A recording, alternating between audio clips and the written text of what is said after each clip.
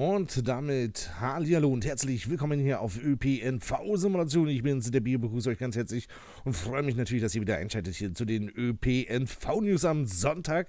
Die Gamescom ist zu Ende, das heißt, alle wichtigsten News sind durch und man muss sagen, ja, es war eigentlich nichts Besonderes groß dabei gewesen, also keine großartige neue Ankündigung, sondern eher so schon gebrauchtes Material, was man halt bereits schon wusste, dass das irgendwie jetzt so die nächsten Wochen, Monaten erscheint. Ähm, aber immerhin gab es auch den einen oder anderen Titel, worauf ich mich sehr freue. Auch wenn es nicht so groß mit Simulation zu tun hat, waren ja aber natürlich auch ein paar Spiele dabei, wo ich äh, mich sehr drauf freue. Wie gesagt, das Ganze wird dann wieder auf Twitch gestreamt und, und alles sowas und drum und dran. Aber sonst so, was in der Simulationswelt so passiert ist, waren es eigentlich, wie gesagt, alles so Sachen, die kannten wir bereits. Aber ja, ich habe eigentlich nichts anderes erwartet, muss ich ganz ehrlich gestehen. Ich bin eigentlich sehr, sehr neutral an der ganzen Gamescom diesmal rangegangen. Ähm, man muss aber sagen, ich fand das mit äh, der Presse Pressekonferenz am Anfang schon ziemlich cool. Also das hätte man oder das kann man zukünftig auch denn in den nächsten Gamescoms gerne mit einbauen, damit das Ganze natürlich ein größeres äh, Feeling bekommt. So ein bisschen wie die E3 jetzt hier auch in Deutschland. Also das ist so meine Meinung. Ihr könnt ja gerne mal so in die Kommentare posten, was ihr davon so haltet. Aber nun wollen wir jetzt endlich zu den News und ein paar Sachen habe ich noch rausgefunden und von daher denke ich mal, fangen wir jetzt direkt mal an. Ich habe hier was gefunden und zwar hat äh, Train Team Berlin ein ja, Video veröffentlicht äh, zu ihrem neuesten Szenario Pack Volume 3, äh, was die Ludmilla zeigt, welche als KI-Log ähm, erhältlich ist oder was jetzt in dem Szenario Pack ähm, jetzt rumfährt. Diese wird allerdings nur von der KI gesteuert, das ist jetzt nicht für euch, also ihr könnt sie selbst halt so nicht bedienen. Aber hier sieht man mal wieder, dass Train Team Berlin hier wieder großartige Qualität mal wieder beweist. Und das zeigt auch einfach nur, wie großartig doch das ganze Addon ja, mit äh, Berlin S-Bahn sein könnte. Wir sind auf jeden Fall gespannt. Die Bilder, wie gesagt, ihr seht es ja gerade oder im laufenden Video, kann sich das auf jeden Fall mehr als sehen lassen. Das ist jetzt schon meiner Meinung nach erhältlich. Das könnt ihr jetzt auf Train Team Berlin schon kaufen. Und äh, wer natürlich die Vorbesitzerteile hat, der kann sogar noch ein paar Prozente sparen bei der ganzen Sache. Von daher finden wir das eine relativ coole Sache. Wenn ihr ein paar neue Szenarios braucht, dann schaut mal bei Train Team Berlin vorbei. Und das vollständige Video findet ihr natürlich hier unten in der Videobeschreibung.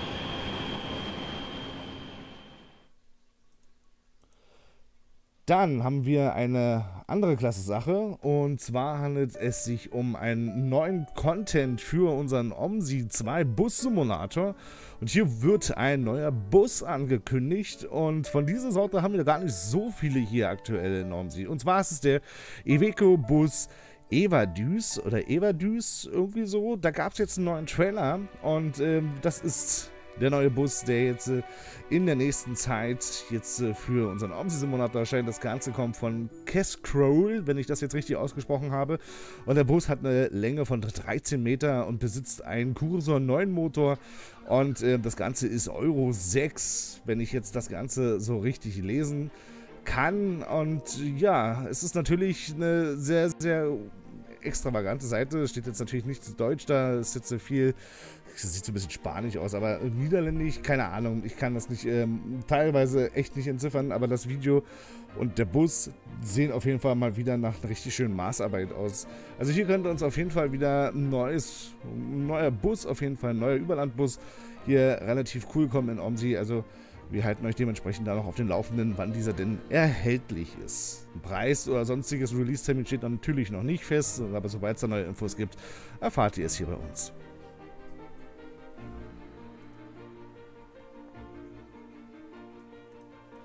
Und dann kommen wir mal zum Mini-DLC Nummer 2. Wir hatten jetzt vor einigen Tagen auf der Gamescom Special ja angekündigt, dass äh, Omsi-Projekt Gladbeck bereits schon den dritten angekündigt hat. Aber es gibt natürlich Neues vom Mini-DLC 2.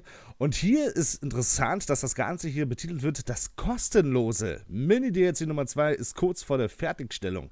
Wir freuen euch nee, wir freuen uns, euch zu berichten, dass das Mini-DLC Nummer 2 kurz vor der Fertigstellung ist und auch in die Beta-Phase in Kürze gehen wird. Wenn alles klappt, ist dieser Mini-DLC Nummer 2 rechtzeitig zum Düsseldorf-Release fertiggestellt und wir können es kostenlos direkt mitliefern. Mit diesem Mini-DLC Nummer 2 könnt ihr quasi zwischen den beiden Städten pendeln auf dem Schienenersatzverkehr der S68 als Expresslinien. Wir sind schon gespannt, mit welchen Bussen ihr auf dieser langen Expressstrecke fahren werdet. Das Ganze geht von äh, S-Bahnhof Hofwinkel Bahnhof Richtung äh, Reisholz Bahnhof, insgesamt eine Streckenlänge von 13 Kilometer. Und das ist doch schon mal eine Hausnummer, muss man mir sagen. Wir freuen uns natürlich drauf. Sobald das Ganze natürlich released ist, werden wir uns das dementsprechend natürlich anschauen und natürlich hier in den News natürlich auch nochmal kundtun, damit ihr dementsprechend halt gut informiert seid.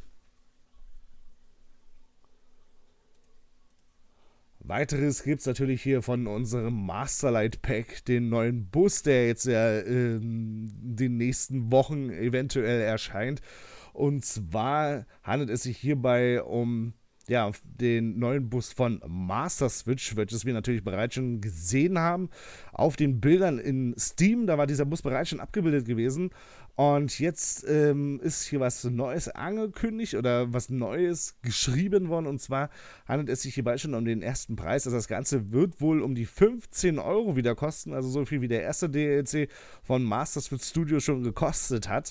Wann natürlich noch ein Release ist, ist noch nicht bekannt. Allerdings könnt ihr das Ganze jetzt schon bei euch auf Steam natürlich schon auf eure Wunschliste packen. Und dann verpasst ihr den Release von diesem DLC nicht. Besonderes Highlight ist natürlich, dass es hier hierbei wieder um einen englischen Bus handelt. Das heißt, die Türen sind auf der linken Seite und äh, ja, dementsprechend könnt ihr diese nur auf englischen Seiten, nee, auf englischen Strecken, Entschuldigung, auf englischen Strecken natürlich benutzen, weil ja, Deutsch macht sich ein bisschen schlecht, wenn die Tür auf der falschen Seite ist. Von daher äh, werden wir uns das äh, wieder mal anschauen. Sobald diese released wird, halten wir euch dementsprechend natürlich auch wieder auf dem Laufenden und werden uns, wie gesagt, das Ganze im Let's Play selbstverständlich hier anschauen. Also Masterlight Pack, wie gesagt, auf Steam.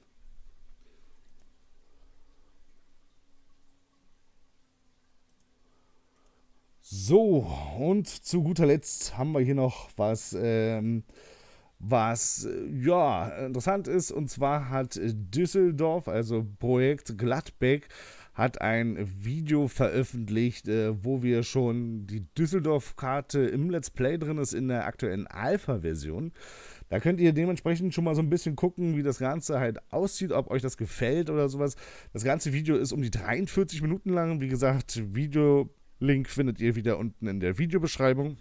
Da könnt ihr euch das bereits anschauen. Es gibt wohl auch schon ein erstes Video davon und das geht einfach mal eine Stunde und zehn Minuten.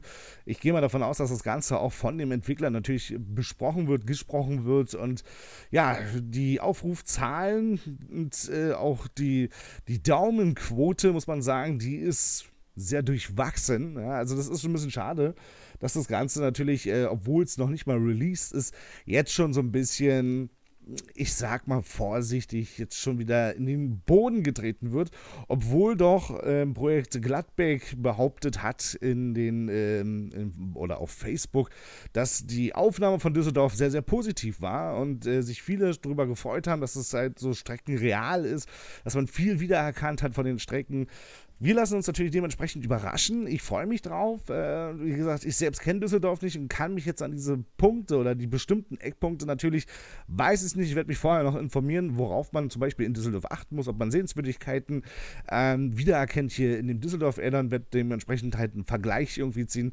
Vielleicht findet man sie dann auf der Karte von äh, Düsseldorf. Wir sind auf jeden Fall gespannt. Release dürfte nicht mehr in allzu weiter Ferne sein. Von daher freue ich mich schon drauf, wie wenn das Ganze uns dementsprechend natürlich anschauen. Sobald es da Neuigkeiten gibt, halten wir euch dementsprechend wieder auf dem Laufenden.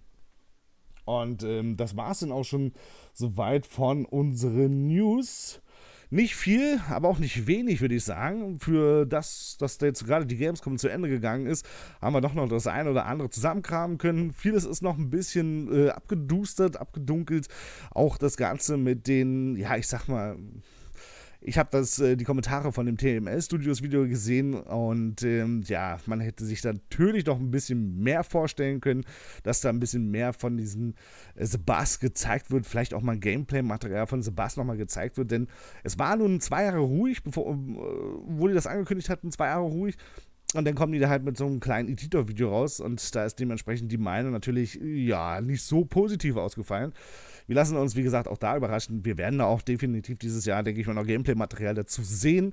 Und sonst, wie gesagt, die Gamescom, ja, ist jetzt nun partout. Jetzt geht es nur noch eigentlich äh, jetzt in die nächsten Monate um Spiele kaufen. Weihnachten steht auch schon wieder vor der Tür. Und nicht vergessen, in mehr als zwei Wochen können wir schon wieder Spekulatius kaufen. Damit verabschiede ich mich, bedanke mich, sage ciao, tschüss und hoffentlich wieder bis zum nächsten Mal. Tschüss.